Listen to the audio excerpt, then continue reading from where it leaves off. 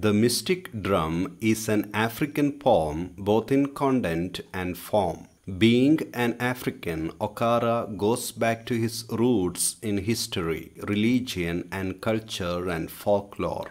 Through its image and symbol, rhythm and tone, the poem expresses the subtle nuances of an African experience.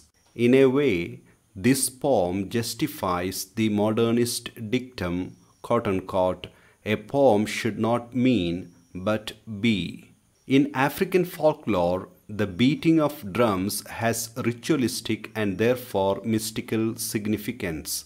The beating of the drum unites the mind and heart of the drum beater with the outer world of nature.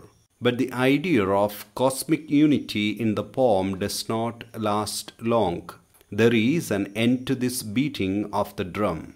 The poem's thematic emphasis is not upon how man and nature became one when the mystic drum beats within him, but it is about the brevity of this experience. The return to the reality makes the poet sing, quote unquote, never to beat so loud anymore. Here there is the dialectic between tradition and influences. There are no noticeable references to the neo-colonialism or cultural imperialism and Okara does not relate the problem of culture to the economic sphere.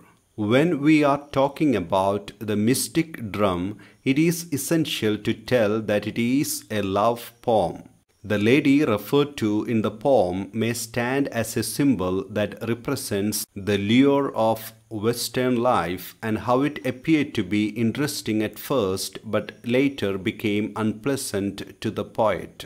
The drum in African poetry generally stands for the spiritual pulse of traditional African life.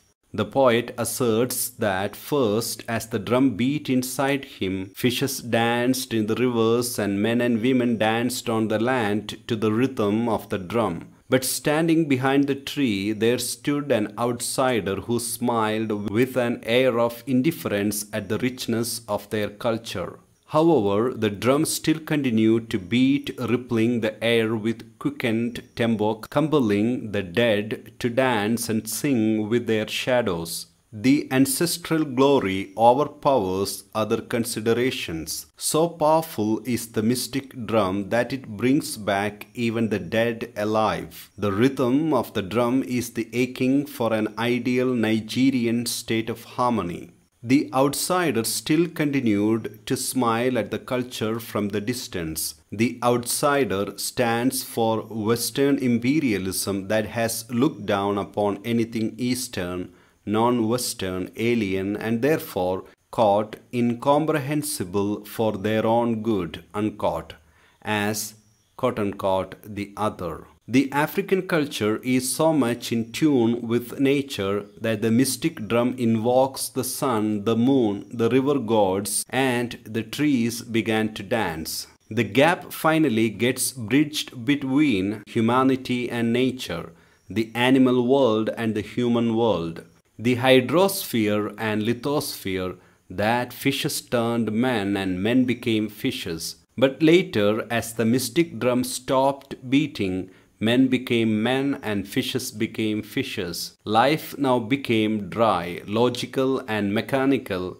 thanks to Western scientific imperialism, and everything found its place. Leaves started sprouting on the woman, she started to flourish on the land.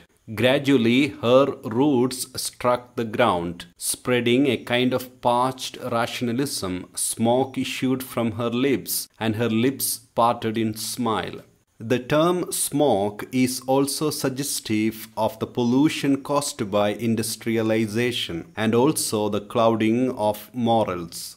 Ultimately, the speaker was left in blanching darkness completely cut off from the heart of his culture, and he packed off the mystic drum not to beat loudly anymore. The belching darkness alludes to the futility and hollowness of the imposed existence. The outsider at first only has an objective role standing behind a tree. Eventually, she intrudes and tries to weave their spiritual life. The leaves around her waist are very much suggestive of Eve who adorned the same after losing her innocence. Leaves stop growing on the trees, but only sprout on her head, signifying deforestation. The refrain reminds us again and again that this Eve turns out to be the Eve of Nigerian damnation.